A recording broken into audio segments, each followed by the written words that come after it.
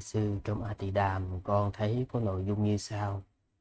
Một ngàn đại thiên thế giới là khu vực, hay có thể gọi là cõi của một vị vật chánh đẳng giác xuất hiện tại đó. Đức Phật không ra ngoài ranh giới này. Giới hạn này thật là rộng, lớn và bao la, vượt quá suy nghĩ, hiểu biết của chúng ta. Nhưng theo kinh điển thì Đức Phật của chúng ta chỉ thuyết Pháp, hoàn Pháp trên trái đất, vùng đất thuộc khu vực Ấn Độ xưa và có lên cõi trời thuyết Pháp. Vậy con thấy Đức Phật chỉ hoạt động tại hai địa điểm nơi chốn này. Vậy sư cho con hỏi lý thuyết về A Tỳ Đàm về 10.000 đại thiên thế giới có phù hợp chăng? Trong khi chúng ta không biết Đức Phật có hoạt động trong phạm vi này hay không? Ờ, trong một cái đoạn ờ, chú giải trong uh, kinh Đại Bát Niết Bàn. Có một đoạn như sau. Ở nơi đó, có những nơi mà chúng sanh sẵn sàng để nghe pháp, nhưng không sẵn sàng để thấy hình ảnh của một vị trên đẳng giác. Thì thế tôn có thể khiến cho chúng sanh đó, nếu như có duyên với ngài, thì có thể khiến cho chúng sanh đó thấy được uh, nghe được chánh pháp mà không phải thấy ngài rồi có chúng sanh sẽ hoan hỷ nghe pháp khi mà thấy cái người thuyết pháp trong một cái hình tướng đặc biệt thì Đức Thế Tôn có khả năng hóa hiện ở cái hình tướng đó để thuyết pháp cho chúng sanh đó nghe. Tụ chung lại đó, uh, theo như trong chú giải thì ở cái uh, nơi nào um, mà chúng sanh hữu duyên với Đức Thế Tôn thì trong một khoảnh khắc trong một khoảnh khắc Đức Thế Tôn có thể xuất hiện ở nơi đó để mà tế độ cho chúng sanh đó. Và quý vị nên nhớ rằng cái khả năng phân thân mình tạm gọi là phân thân của một vị chánh đẳng giác là không có hạn chế.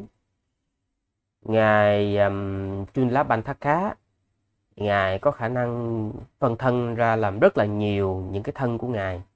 Mỗi một uh, vị đó thì có vị thì ngồi có vị thì đứng có vị thì học kinh có vị thì tập thuyết pháp có vị thì làm cái này vị làm cái kia. Mỗi một vị đều có một cái uh, cử động khác nhau hoàn toàn riêng biệt. Ngay cả một vị a la hán uh, là ngài chuyên lắp banh thác cá ngài còn có khả năng làm được như vậy thì huống chi à, là một vị chánh đẳng giác. Nó có hai vấn đề. À, chúng ta gọi là bất khả tư nghị tức là không thể nghĩ bàn. Một trong à, một thứ nhất là cái gì? Giới hạn của thế giới này. Ừ. nói về không gian giới hạn của không gian thì à, nó là bất khả tư tư nghị. Cái thứ hai là trí tuệ của đức phật của một vị chánh đẳng giác khả năng của một vị chánh đẳng giác là bất khả tư nghị. Ngoài ra nó còn có hai thứ nữa à, đó là cái um, nghiệp và quả của nghiệp là bất khả tư nghị. Và khả năng thần thông của định là bất khả tư nghị. Như vậy đối với những thứ mà chúng ta gọi là bất khả tư nghị tức là sao? Với trí tuệ của phàm phu, mà chúng ta cố gắng hiểu về những việc thuộc phạm vi của một vị chánh đẳng giác, thì nó đem lại nhiều cái sự tai hại. Ví dụ như nó đem lại sự hoài nghi, hoặc thậm chí đem lại sự điên loạn. Cho nên quý vị đọc mà quý vị suy tư thì đương nhiên quý vị sẽ thấy hoài nghi. Đó là đương nhiên bởi vì chúng ta đã phạm chạm vào ha, chạm vào bốn cái điều bất khả tư nghị.